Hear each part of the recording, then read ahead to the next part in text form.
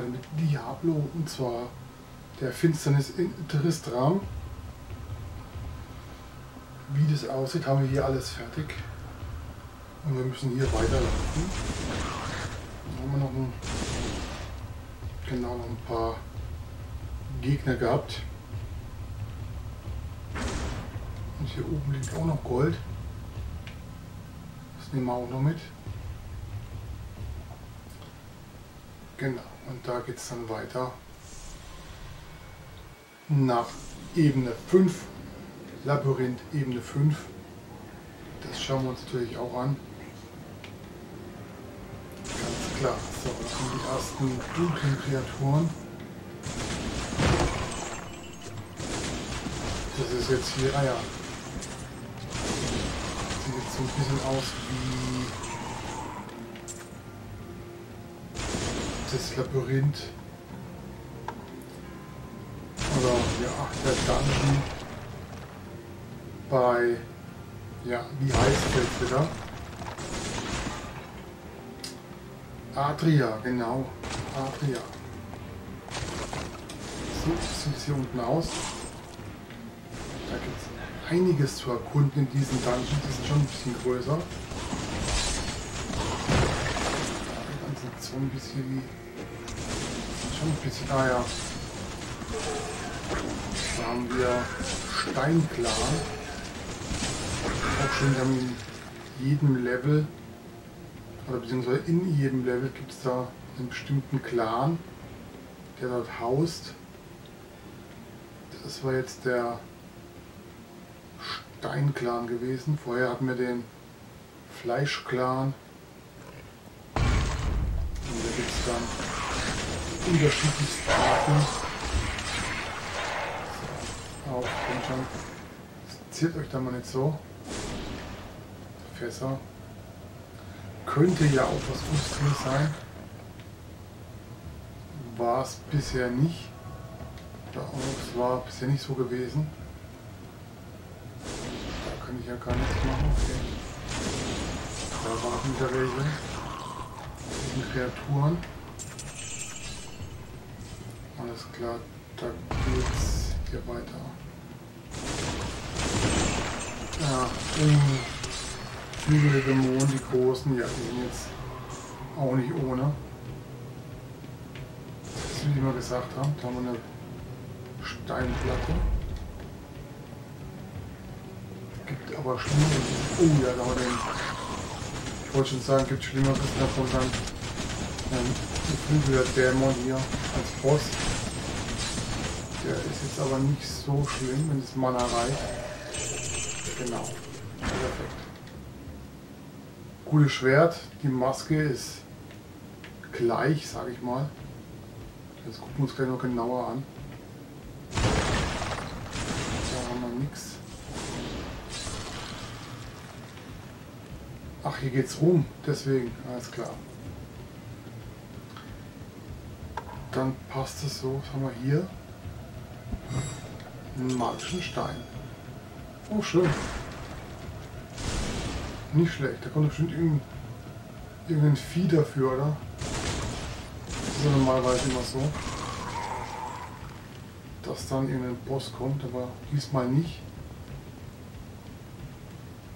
Ah, da haben wir was da hinten. Bluthaut, okay.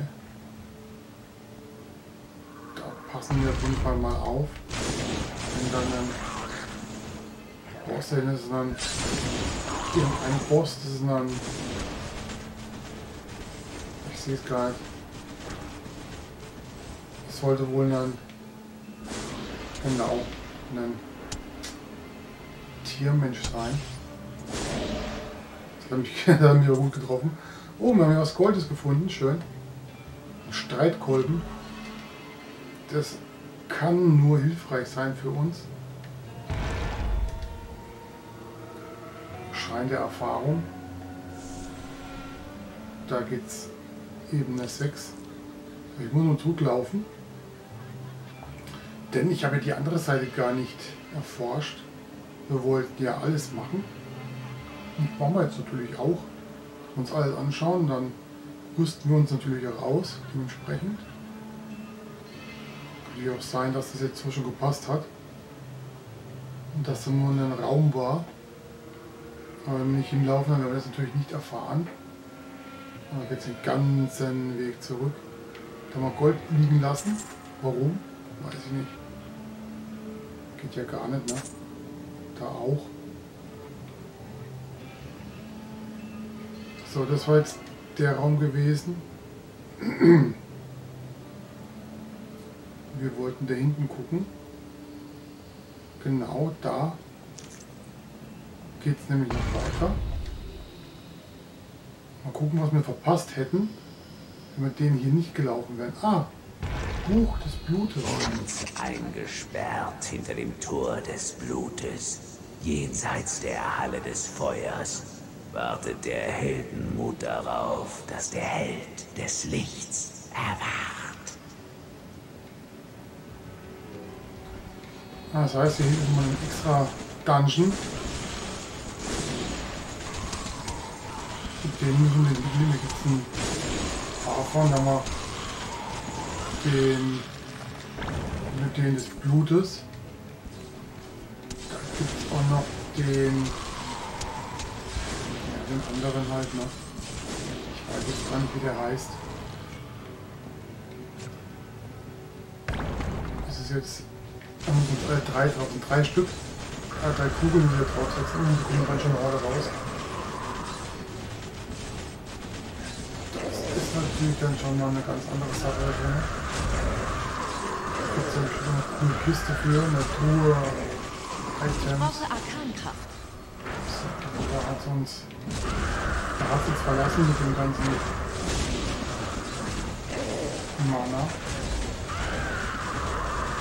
Das sind ganz schön da drin, ne? Noch ein. Ich glaube, den jetzt erstmal. Reinstürmen natürlich auch nicht. Jetzt gehen wir rein. Und wir legen die Kugel hier drauf. Eine fehlt noch. Jetzt geht es hier runter, da auch wieder eine ganze Horde.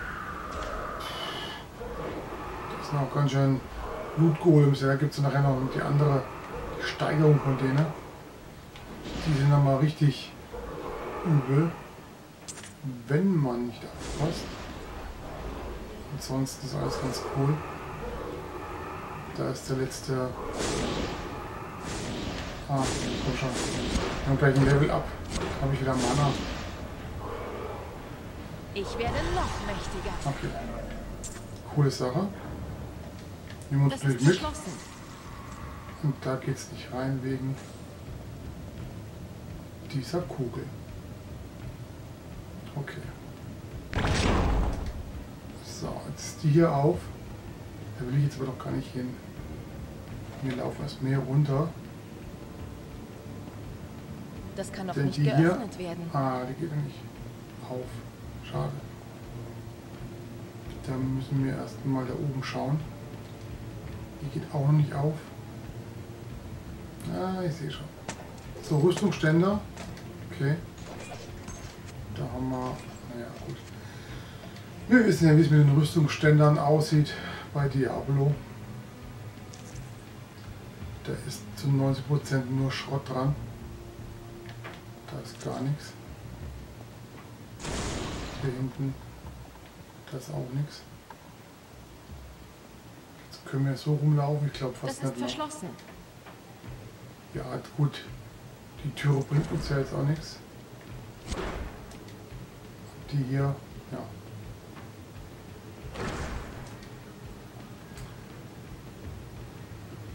So, jetzt haben wir das natürlich blöd gemacht, den Mechanismus.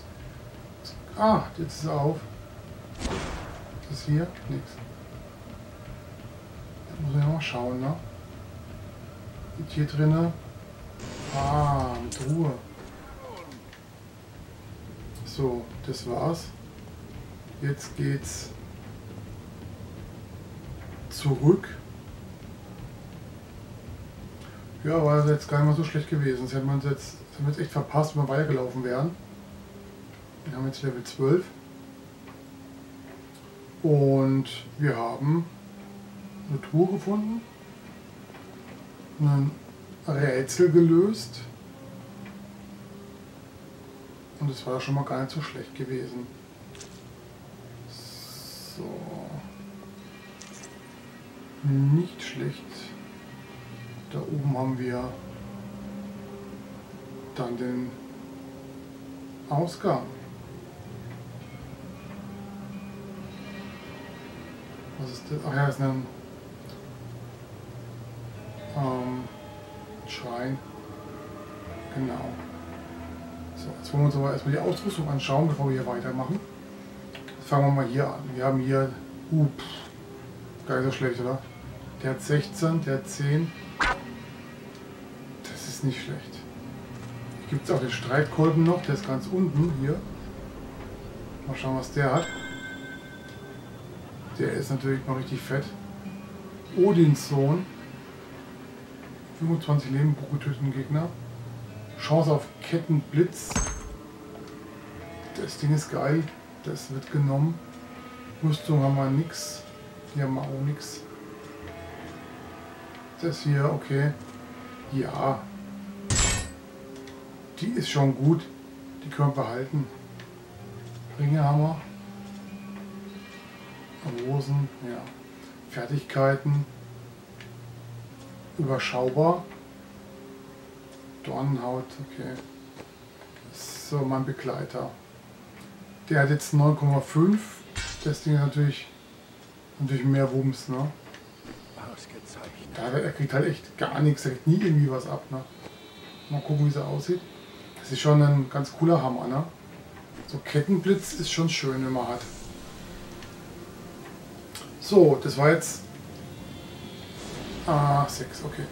Labyrinth Nummer 6. Da gehen wir auch durch. Da haben wir ja, Fässer. Fässer halt, ne? Und hier... Jetzt habe ich mich verhakt. Okay, die sind da hinten. Das ist genau so ein Dungeon, wie wir ihn kennen, von der Suche nach Adria. Das ist natürlich ein bisschen mehr Action als 5 in der Story als hier. Das ist natürlich klar. Und die können ja natürlich mit solchen Viechern auffahren. Das geht natürlich nicht. Dann wären wir gleich platt. So. Nein, das ist jetzt hier. Ah. Ich wollte es nicht sagen, sind sie schon. Viecher hier. Da haben wir einen Stein gehabt. Hier drin haben wir Fledermäuse. Ich muss noch sagen, diesen Fledermäusen. So. Hier unten ist nichts. Da drinnen da kann man, das ist halt so eine Sache, kann man überall richtig reinrennen. Also, dass man da irgendwie in irgendeinen blöden Gegner reinrennt. Ist jetzt nicht. Ich habe jetzt mal auf normal gespielt. Das ist, denke ich mal, mit einer. Wenn man nur ein Leben hat, dann sollte man mit Level 1 auch lieber auf normal spielen. Man hätte vielleicht noch auf Profi spielen können. Aber das ist dann einfach zu hart. Das beim, beim Schlechter in Level 2, da hätte den Geist aufgegeben. Wir wollen ja nicht unseren Charakter verheizen. Wir wollen ja souverän hier durchführen. Da war jetzt noch eine Tür, die können wir ruhig zulassen. Diese Gefühle der Mond sind auch nicht zu unterschätzen. Das sind die ganzen Skelette hier. Dann schauen wir mal, was in der Kiste drin ist. Sieht ein bisschen aus wie eine prächtige Truhe, ist aber letztendlich nur eine Truhe. Das sieht man dem, was da rausfällt. Da geht es nach 7, okay. Das ist natürlich überhaupt nicht unser Ziel da lang. Wir wollen den Rest auch noch erkunden. Wie gehabt. Dazu geht es erstmal hier oben weiter. Jetzt soll mal speichern, sehe ich gerade oben rechts. Das ist okay. So, ich laufe mal. Na, das sind die ersten in die Richtung. Gehen wir erstmal in die Richtung, wo die Feinde herkommen. Nach oben können wir immer noch die nächsten Feuerkiller-Anstreiter. Und diese geflügelten Dämonen, ich sag ja, da muss man schon aufpassen, jetzt nicht auf die normalen, aber wenn da ein Boss dabei ist, dann kann das schon reinhauen. So, da hinten haben wir gar nichts. Das ist auch mal schön.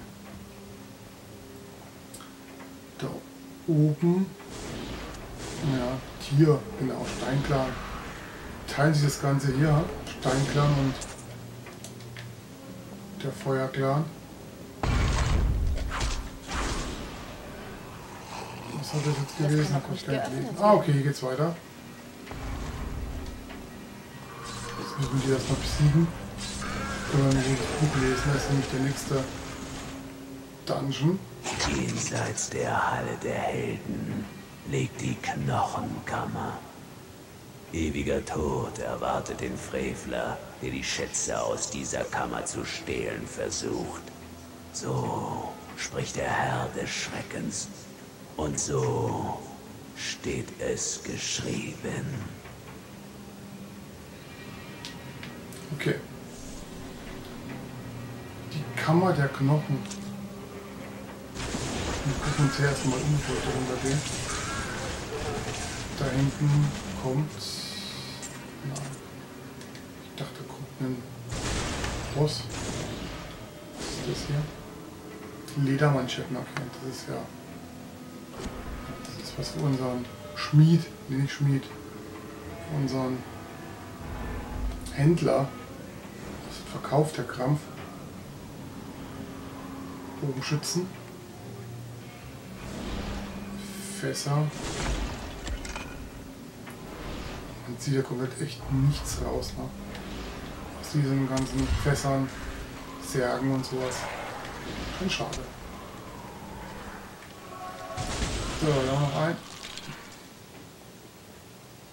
Das ist ja wirklich nicht gerade klein, dieser Dungeon hier. Da geht's zurück. Ah, oh, oh, oh. Da war ein, war ein Boss gewesen. Da geht's gar nicht so gut. Blutgerinne. Das ist wohl der. Okay. Und erledigt Ledermanschetten diesmal in gut. Und wir machen uns auf den Weg nach oben. Damit eigentlich auch anders herumlaufen können. Rein theoretisch. Aber okay. Das soll mal nicht so schlimm sein. Jetzt schauen wir uns nämlich im nächsten Teil den Dungeon hier an. Da haben wir noch, da kommt nichts raus, ne? Kammer der Knochen. Im nächsten Teil. Dann macht's gut. Das war's auch schon wieder mit dieser Folge. Im nächsten Teil geht es selbstverständlich weiter. Hat es euch gefallen, dann lasst einen Daumen da. Kommentiert das Video oder wenn ihr keinen weiteren Teil verpassen wollt, abonniert uns einfach. Wir freuen uns darüber. So, und dann verabschiede ich mich, bedanke mich fürs Zuschauen und wünsche noch viel Spaß mit den anderen Videos. Macht's gut, bis bald.